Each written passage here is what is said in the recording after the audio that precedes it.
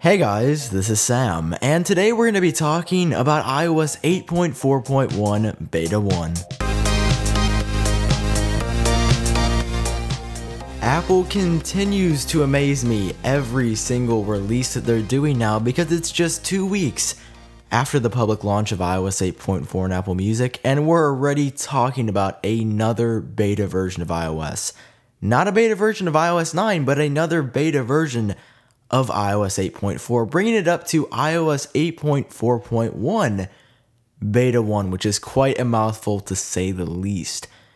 I have been looking through iOS 8.4.1 here on my iPhone 5 for the past 20, 30, 40 minutes now, and I've got some bad news for you guys because I can't actually find anything that's changed. I haven't seen any new UI. All the apps that were there with iOS 8.4 are still present in iOS 8.4.1 Beta 1.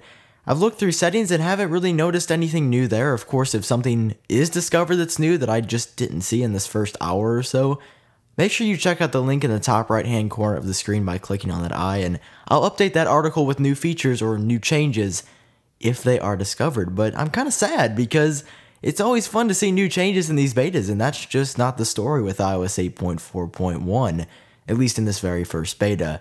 My initial impressions with iOS 8.4.1 Beta 1 make me want to say that it does feel faster and snappier than before, but I'm only going to accredit that to the fact that I did a complete clean restore to this firmware. No, 30, no third-party apps have been installed on my device yet, no backup was restored too. This is literally just stock iOS at its finest.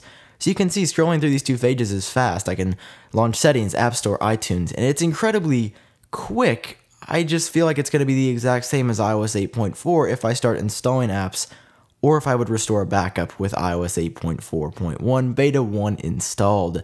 This is all the info that I've got for you guys on iOS 8.4.1 Beta 1. Of course, if you enjoyed watching this video, smash that like button down below, and for more content on future betas, including more for iOS 9, and of course iOS 8.4.1, make sure you also subscribe while you hit that like button so you don't miss out on any of my future content. This has been Sam with iUpdateOS.